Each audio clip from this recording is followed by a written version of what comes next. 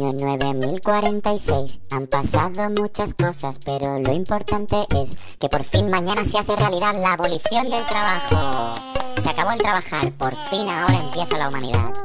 Tus necesidades vitales están cubiertísimas hasta cierto punto. Y siempre puedes ir a un dentista de pago si quieres, todavía, todavía queda para el tema del trabajo voluntario, entre comillas. Un momento, un momento, un momento. Marta, ¿has enviado los PDF necesarios para pasar este decreto ley? Hostia, yo tenía que hacer esto. Marta ha olvidado por completo entregar los PDF y ahora el plazo ha pasado.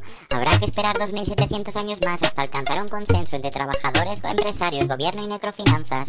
Uy, la gente está enfadada con Marta. ¿Qué clase de sistema regulero tenéis implementado en el cual todo depende de una sola persona que parece que no da abasto?